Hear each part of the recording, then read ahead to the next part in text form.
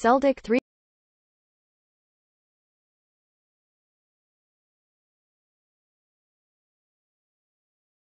Partick 2. Parkhead paid tribute to former Celtic midfielder Liam Miller ahead of Saturday's 3-2 win over Partick in the fifth round of the Scottish Cup.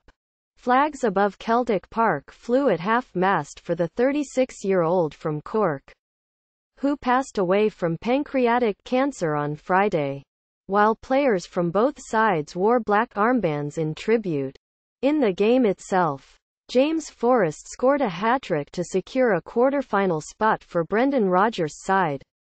Tributes to Liam Miller outside Celtic Park ahead of the Scottish Cup fifth-round match. Photograph. Andrew Milligan, PA Wire. In a whirlwind start to the lunchtime encounter the Hoops winger scored twice in the opening 10 minutes before a mistake by defender Jozo Simunovic allowed Jags striker Chris Doolan to pull one back. It looked done and dusted when Forrest fired in his third in the 53rd minute but in the 84th minute.